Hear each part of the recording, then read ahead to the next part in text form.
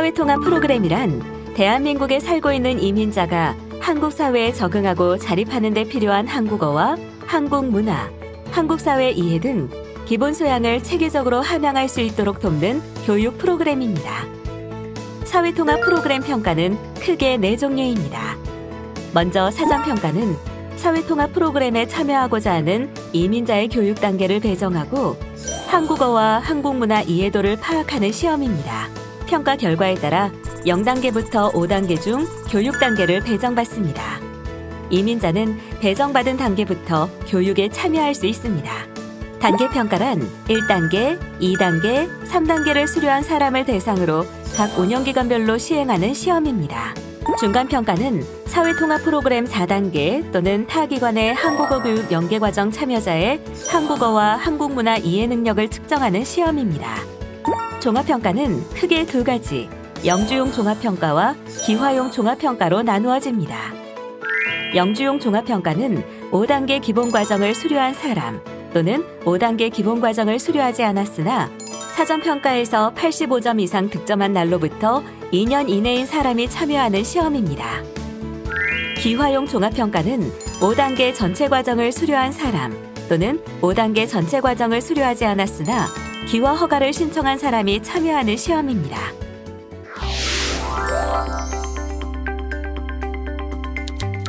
평가 신청에 앞서 사회통합정보망 홈페이지에 회원가입을 하여야 합니다.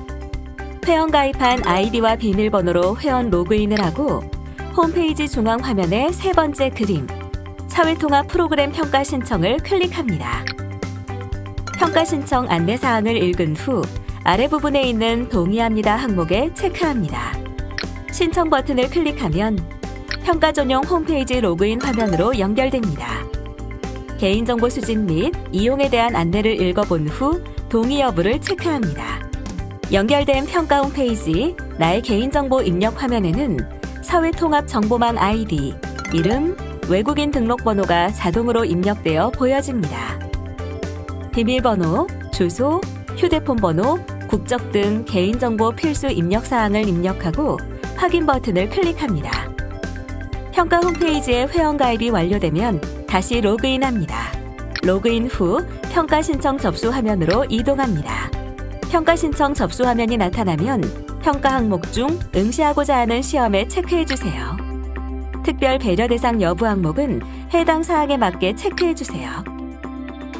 종합평가를 신청하는 경우 사회통합 프로그램 이수 여부를 확인하는 항목이 나타납니다. 해당 사항에 맞게 체크해 주세요. 사회통합 프로그램을 공부한 사람은 수료에 체크, 그렇지 않은 사람은 미수료에 체크해 주세요. 빠짐없이 기입했다면 다음 단계 버튼을 클릭해 주세요. 자신이 선택한 시험 종류를 다시 확인한 후 평가 이름을 클릭해 주세요. 다음 화면으로 이동되면 평가 지역과 평가 장소를 선택합니다. 응시할 평가 장소에 대한 자세한 정보는 평가 3일 전 my page 또는 평가 신청 및 접수 메뉴에서 확인할 수 있습니다. 이어 아래 응시료 결제 수단을 선택하고 결제하기 버튼을 눌러 결제를 진행하면 됩니다. 환불 기준은 시험일 2일 전까지 기간에 따라 다르게 적용됩니다. 여기까지 평가시험 신청 및 접수 방법에 대한 설명이었습니다.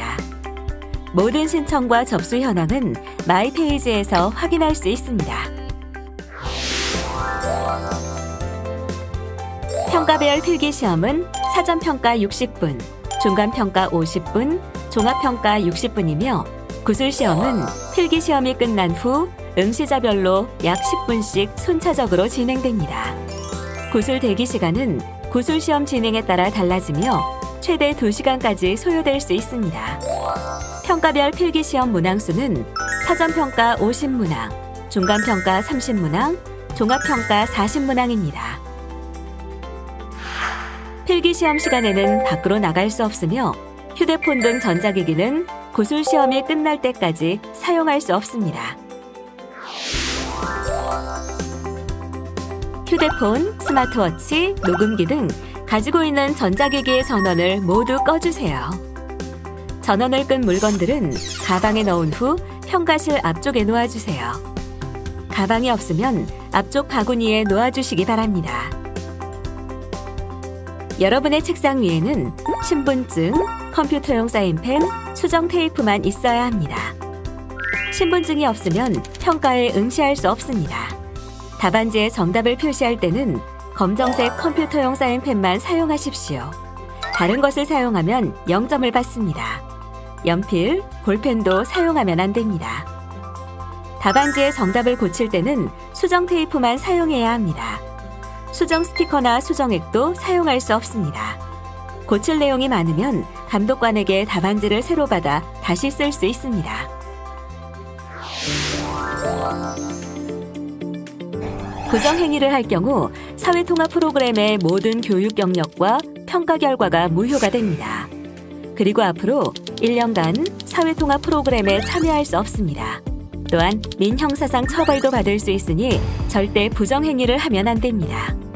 휴대폰 등 휴대 금지 물건을 책상 속에 넣어두거나 몸에 가지고 있는 경우, 시험을 보는 중 메모나 책을 보는 경우, 다른 사람의 답안지를 보거나 정답을 알려주는 경우, 문제를 종이나 신체에 적어가는 경우, 모두 부정행위에 해당되는 행동입니다.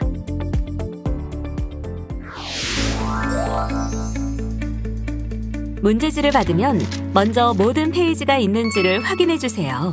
마지막 페이지에는 끝, 수고하셨습니다 라는 문장이 있어야 합니다. 아직 필기 시험이 시작되지 않았으므로 문제를 풀 수는 없습니다. 다음으로 문제지 앞면에 있는 문제지 유형을 확인합니다. A형 문제지를 받은 사람은 OMR 답안지, 시험지 유형의 A형에 표시하고 B형 문제지를 받은 사람은 B형에 표시해 주세요.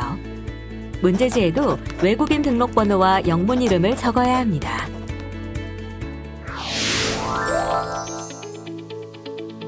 컴퓨터용 검정색 사인펜만을 사용하여 답안지에 정확하게 표기해야 합니다. 정확하게 표기하지 않거나 두 개 이상 표기한 경우에는 오답 처리됩니다. 수정은 수정 테이프만 사용이 가능하고 필요한 경우 감독관이 제공합니다.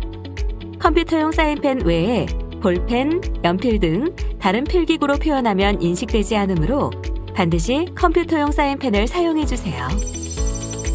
필수 기재 사항인 평가 시험 종류, 외국인 등록번호, 영문 이름, 문제지 유형은 하나라도 빠지면 0점 처리될 수 있으니 꼭 마킹을 확인해 주세요. 객관식 문제는 문제의 번호를 확인하고 1번 문제의 답이 3번이면 3번에 마킹해 주세요. 그리고 2번 문제의 답이 2번이면 2번에 마킹해 주세요. 주관식 문제의 답은 OMR 카드 뒷면에 작성해 주시면 됩니다. 받은 장문형 답안지가 응시한 시험의 답안지인지 확인해 주세요.